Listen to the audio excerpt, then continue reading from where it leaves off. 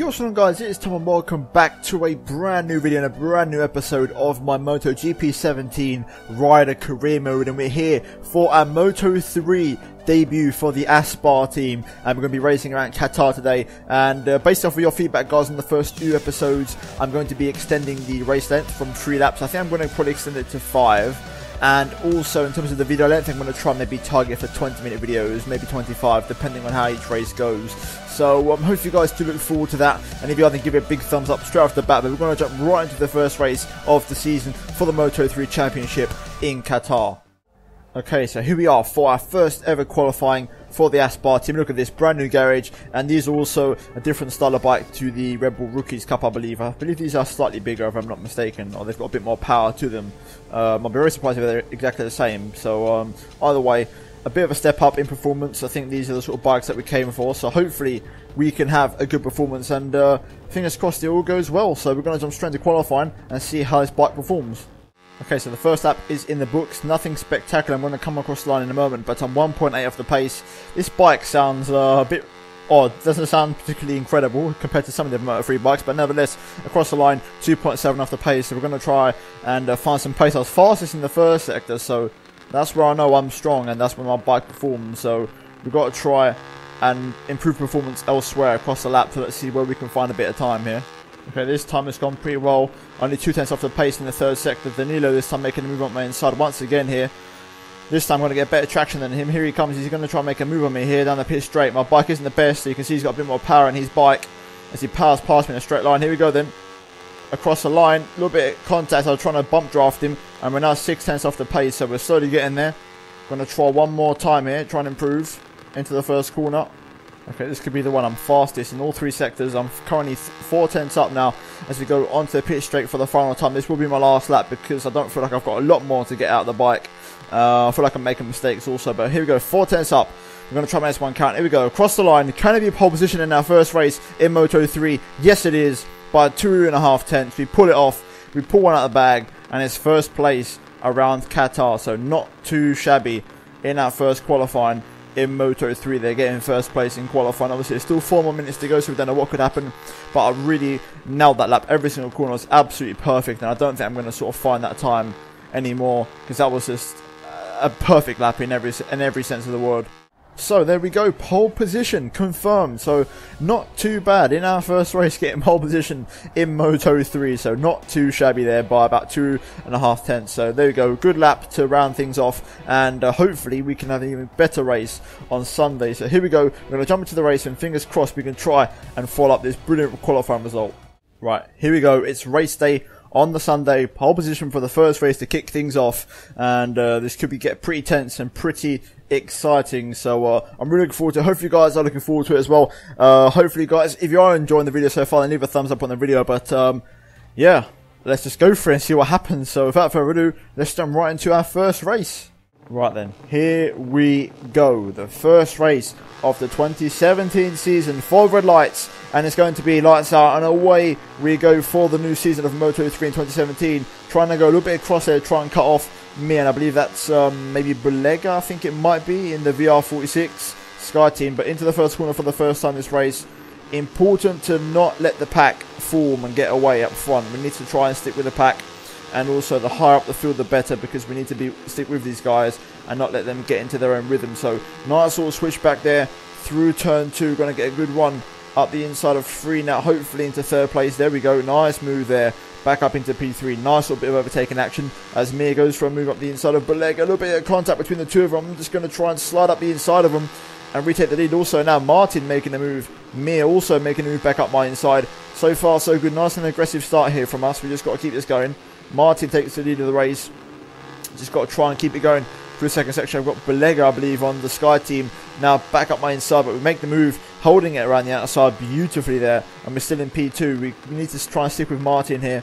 Try maybe form a breakaway pack. This is almost very similar to cycling in terms of just the packs that form because of the slipstream and also just the, the constant overtaking. So we need to try and make this work. As Bulega slides my inside, I get that corner all wrong, getting all out of shape, but we're still going to go up the inside of Bulega anyway just about. There we go. Nice move. Squirting it on the power on the exit. Here we go. Nice move. Keeping it in P2. Nice and easy. We've got a few bikes behind us. Look at that train Here we go. This probably going to try and size up for a move up the inside, but I'm having absolutely none of it through here. I'm taking an early apex, shutting the door on any possible overtaking opportunity for anyone that's behind me. Being nice and aggressive. Dropping it a gear through this next right hander. Martin doing a good job. He's actually breaking away from us a little bit, so we need to try and uh, focus to try and catch him up through this next section. Nice bit of power through there. Getting on the power nice and early into the final corner now. Going to try and complete lap one. Martin making a good breakaway. Can't let him get away, so I need to pick up some toe down this front straight. And I've actually done a pretty good job of getting somewhat close to him. And I should pick up a little bit of toe on this back straight, or should I say main straight, into turn one. So let's wait and see what happens. I think I've got a little bit of toe, nothing major, but enough to keep me also um, from being under attack from the guys from behind. As we go into turn one to start lap two, on the brakes, slow the bike down, get the apex. There we go, on the power nice and early. I take a very different line to what the uh, AI riders take through here, so maybe it benefits me because I was the fastest in here in qualifying by a country mile. As we get a good run through there, I'm flat out through there. I get much better earlier power and flat out through turn three, right on the back of Martin now, opened up a gap to the guys behind. And now it's a question of just waiting for the moment to strike. Like a shark, I want to try and get past him straight away. The pace is pretty good so far, so uh, we just got to keep it in there. As we now got the inside, wasn't planning to, but Martin just missed the apex a bit, and we've made a beautiful move up into the lead of the race. So now we can try and pull away a breakaway of our own and see how well we can do. Okay, Martin's there. Martin's made the move. So Martin retakes the lead of the race. I've got a much better run through there that I'm going to go sort of around the outside. Oh, that was close. That was very close. I'm on the grass. I've taken a poor line through there. Martin making the move stick and um, I've got a one second penalty for my troubles for cutting that corner a bit, so that's something to take into account in the race because a second is a lot on these bikes. So um, there we go. Oh, lovely move up the inside. What a move that was.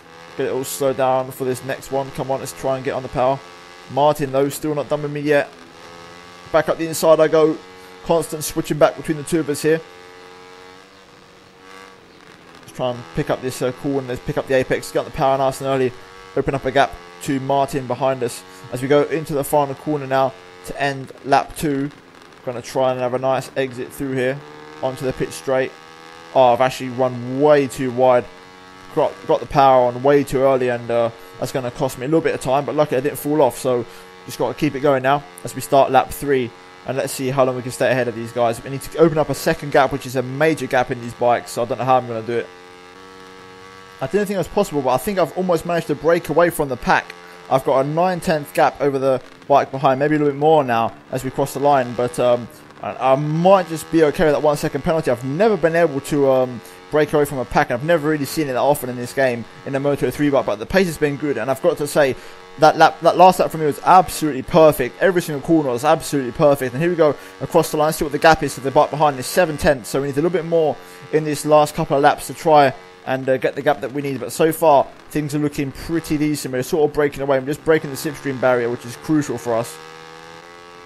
I'm really on the limit right now, really on the ragged edge, really pushing this bike, which does suffer in a straight line to its absolute limit. Oh, getting all out in the AstroTurf there. Not ideal, but um, luckily I didn't fall off as we now go into this section. I'm currently, I'm actually over a second above these guys when I cross the start finish line as I'm skidding the rear tyre now I'm 9 10, so they've caught up a bit in the in the first sector. Or sorry, I say the second sector, sorry. But um, just a question of keeping it going. I've got the gap in the first sector, so just need to keep pushing hard. And in the first sector, the time will come by itself. I've lost a little bit of time through there, a little bit too wide through there, but um, still got a good gap to these guys. We just got to try keep pushing with one and a half laps to go.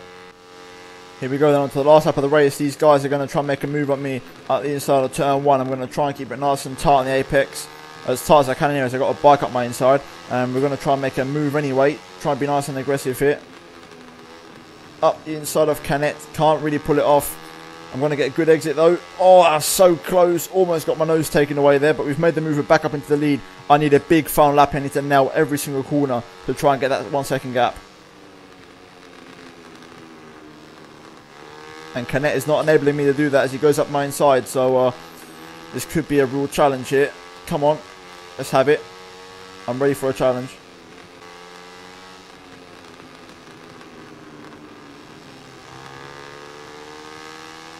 Mir and Anthony now get past, so I'm losing positions now.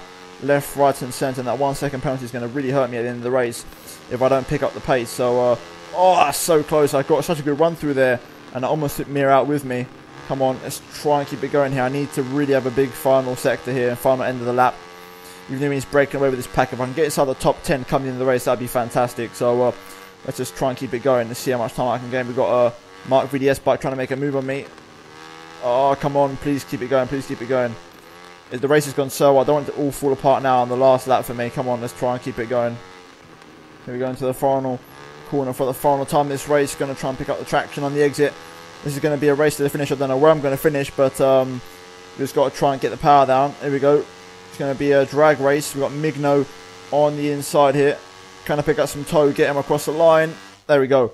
That's the end of the race. And uh, that one second penalty, I wonder how far it's going to push us down the field. But like I said, these bikes race so close on the field. And um, it can hurt you. And there you go, P9. So uh, not too shabby there. We only lost a little bit of time. So not too bad. We had enough of a gap to the guys behind to not lose major time. So P9 in our debut race in MotoGP, we did start on pole, but um, you know we we just don't have the pace in the race compared to qualifying, as you saw also in the Red Bull rookies. But um, nevertheless, that was the first race, and we're now going to move into the second race of the season. Okay, so here we are then, round two of the season in Argentina, Termas del Rio Hondo and uh, let's see how this track suits us. And uh, it's a track that I actually haven't raced before. I did a few laps in time trial one, so I'm going to have to do a few laps beforehand to learn this, and then eventually start cranking up the pace. I'm going to go early, do a few laps. I won't show them to you guys because I'm probably going really slow, but um, I've got 40 minutes, so hopefully by the end of the session we'll be somewhat on the pace. I did a few laps in time trial, like I said before, a couple of days ago with a Moto 3 bike, but I need to reacquaint myself to the circuit and really find the uh, edge and try to find overall pace around here. Okay, so I found a bit of pace. I'm currently 10th up in the first sector. This is going to be the lap that I make count. I've uh, done a couple of laps, but um, I want to try and make this one count. I've done a few install laps, sort of in and out of pit lane, done a few setup changes, but this is going to be the one and only lap that counts.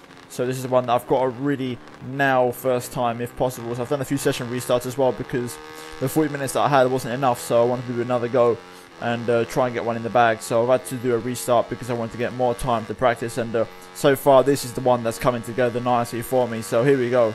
Still up in turn three, or sorry, T3, sector three. Can we try and pull off now in the final sector? The final sector is the one where I tend to lose a lot of time. So let's see if we can really push this final corner, be aggressive with it, and uh, maximize. Oh, bring the nose back. Come on, let's bring it back. There we go. Alright, let's try and take a nice early aggressive apex to the final corner across the line. And it's three tenths off the pace. P7, not too bad. I'm happy with that.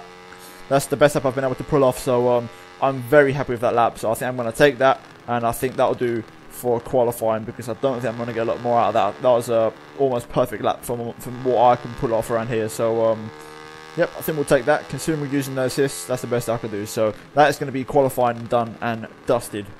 There we go. P7, not too shabby, I've got to say. Joan Mir this time on pole position. Aron Canet, who won the first race, in second. So the usual guys are up the front end, but I'm doing wonders for Mahindra because it's a bike that doesn't belong in the top half. As you can see, looking down the bottom of the table there, this bike should be well and truly down the bottom of the table. So I'm doing a pretty decent job of holding the bike up the front end of the field here. But um, hopefully we can have a good race tomorrow. I've got a feeling the race isn't going to go as great as qualifying because the race pace tends to be not as good as qualifying from what I've experienced in this game so far. So let's just wait and see what happens. But nevertheless, that was qualifying, and we're now going to move into the race. Right then, it's race day for the Termas del Rio Hondo in Argentina. Round two of the championship, and uh, we're starting from P7 like I showed you before on this beautiful red Mahindra Aspar Pull and Bear bike. And um, now the question is, how well can we perform in this race? Can we try and follow up from our result last time? Obviously, P9 in Qatar, not too shabby if you miss it as a card in the top right corner of your screen. But um, let's see if we can try and at least improve that result. I want to try, and my aim this race is to finish in the position that I started. So P7 is the aim this race because uh, last time I lost too many positions for the position that I started from. So um, I want to try and uh, finish where I started. So let's just see how things shape up. Without further ado, let's jump right into the race for round two of the season in the Moto3 World Championship.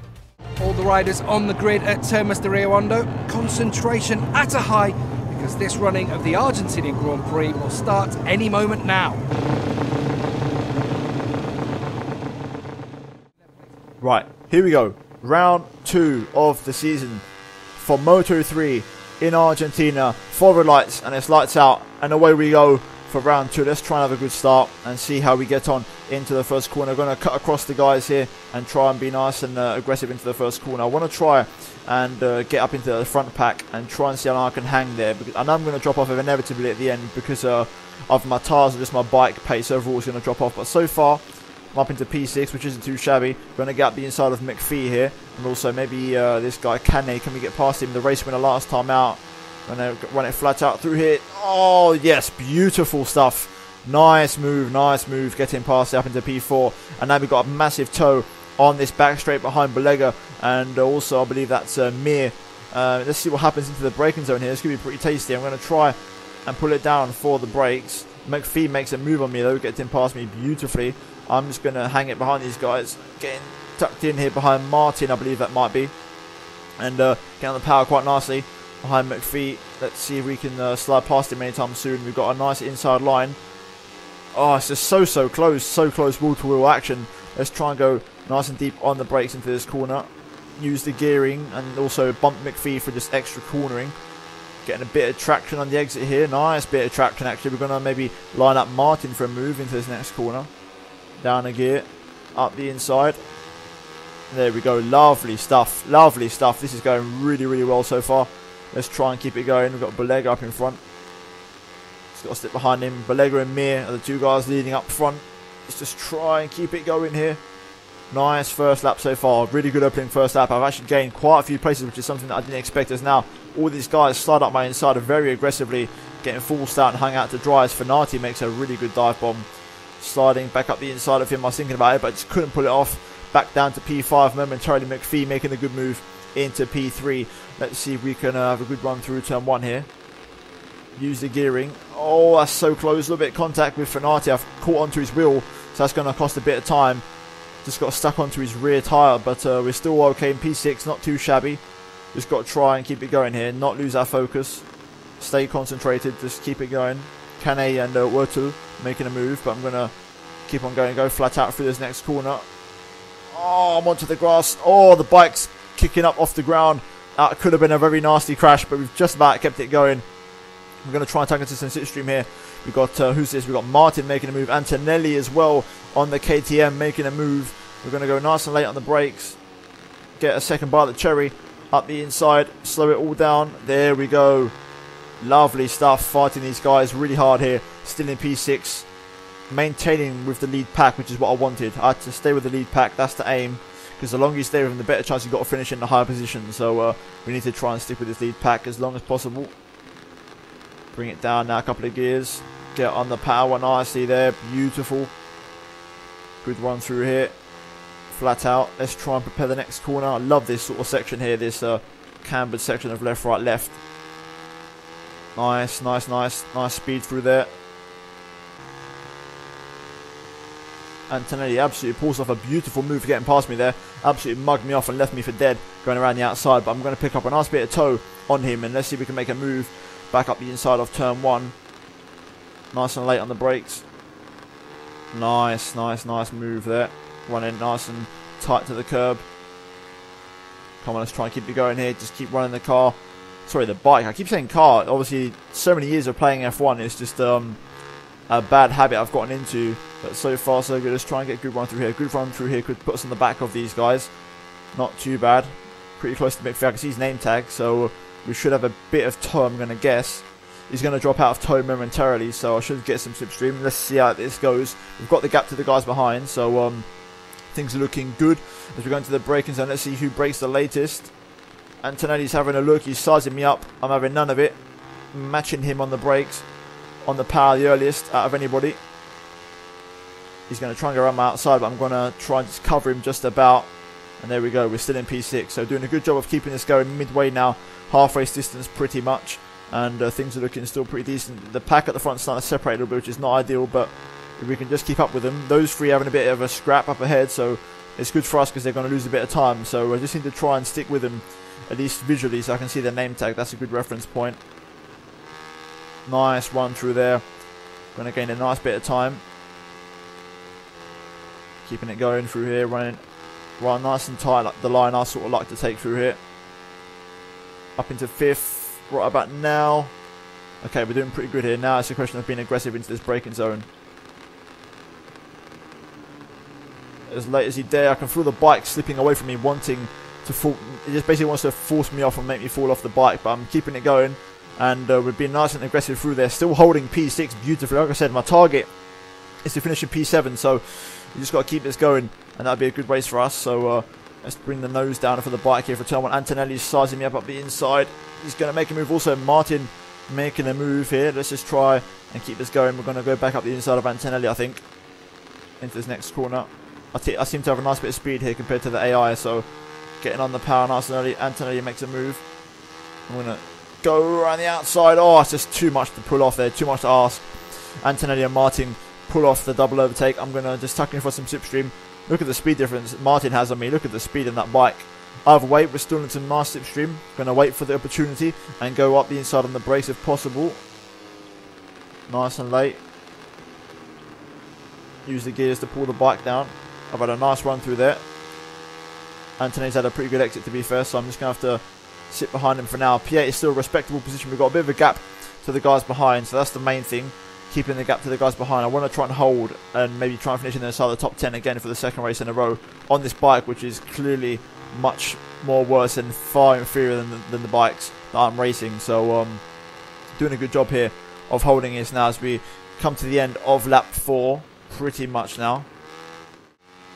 Antonelli and Martin really going at it up ahead here. These two really getting into a proper tasty scrap. I'm just sitting behind waiting for the opportunity. But now this could be a good chance. If I get a good run through here, this could be a good opportunity. And uh, I've had a pretty nice run through there. Just got to wait for the toe, pick up some slipstream, see what these guys do into the braking zone. But I've got the run on these guys. I think I've got a bit more momentum than them. And uh, it's a question of uh, waiting to see what happens in the braking zone. Antonelli's going to obviously try and go up the inside of Martin. I'm just going to sit behind, wait to see what happens use the gearing to get me slowed down. I've almost just fell off the bike there. That was very close. I thought the, the controller vibrating like mad in my hands. But uh, there we go. Antonelli still behind Martin. So Martin defending beautifully from him. I've got the gap to, uh, I believe that's um, Loi behind who I was battling at Qatar. So um, good gap there so far. That's healthy enough as we've only got one more lap to go. So just got to try and keep this going here. These two still going at it hammer and tongs. I mean, look at them. I'm skidding the rear tire. I'm trying to drift the bike and uh, get as much grip as I can. So I've got inferior performance with this machine, but uh, I'm doing a brilliant job in this Mahindra to try and keep it in P8. But I think it will be still hard with one lap to go because I'm losing a bit of time now. I think the tyres might be starting to hit a bit of a second phase, and also just starting to generally go off because I'm running the soft on the front and the soft on the rear. And here comes now, I think that's Lawyer. Here he comes in the Leopard bike, which is one of the best bikes on the grid, and also Bastianini as well. Let's try and slide back underneath these two. Oh, almost fell off there. That was so, so close. I literally, I felt the handlebar just scrape the ground. That was so close, but a beautiful double overtake, holding on to P8 here. I think I wanted P7. That's out of the question now. I'm not going to be able to pull that one off. So if I can just stay inside the top 10, that would be great. So let's just try and hold it now for one more lap around Termas Rio Hondo as uh, Bastianini gets a little bit faster with me there. And Loi uh, makes the most of it by getting past me. Also, the back end really starting to scrub now. That back that back tire is really starting to drift as now we've got a bike up inside. I think that might be Danilo. Yeah, so Danilo making a move on me. And I'm starting to drop through the field now positions. I think my tyres might be going a little bit. I might have gone for a compound too soft. So I'm struggling for grip overall around here, which is never a good thing. So um, let's just see if we can try and get slipstream with Danilo make a move possibly under the brakes. It's going to be very unlikely because he's very far away. So let's see what happens into the braking zone. Going to be nice and aggressive. Get that initial braking phase sorted out. Use him as a brake. There we go, nice back up into the top 10, but he gets much better track. Look at the traction he's picked up there. I can feel my tyres just not working for me, like skidding like mad. Just not getting the traction I need. I'm probably a bit aggressive on the tyres anyway by myself by nature, but I've just not got the grip that I want. I want to try and cover the inside. Not let anyone make a move. There's a a very likely opportunity. I'm going to hold it. Bezzecchi makes a move around the outside and I'm falling off across the line. And oh no, it's all gone wrong across the line. Disaster strikes, and we've fallen over. I wonder if we finish inside the top 15 because 15th is points. So, did we get a point? Yes, we did. We managed to get P15. So there you go. Across the line with a full, we managed to get a point. So not too shabby there, but um, wow, the tires really went at the end there. I've really struggled with the tires. I'm going to have to go for some harder compounds in future races. But um, wow, that was a really tough race. But uh, hopefully we can have much better luck in the next race in uh, Austin. I believe it might be Austin the next race. So that's a track I quite enjoy, one that I actually know. So hopefully we can have a better race around there. Looking at the Riders' Championship, Canet leading the way there. Pretty good job from him. Two in a row for him, winning. And uh, we're down in P11 on, on, eight points, so not too bad. But uh, we need to try and improve. I'm the top Mahindra, so I'm not too bad for my manufacturer. Doing the best I possibly can. And uh, in terms of the uh, constructors, then you can see obviously Mahindra in P3, quite a bit away from KTM and Honda. So um, I think the other guys are going to have to try and pull their act together a bit to try and help us out here. But um, nevertheless, that was Termas de Rio Hondo, and we now move on to COTA.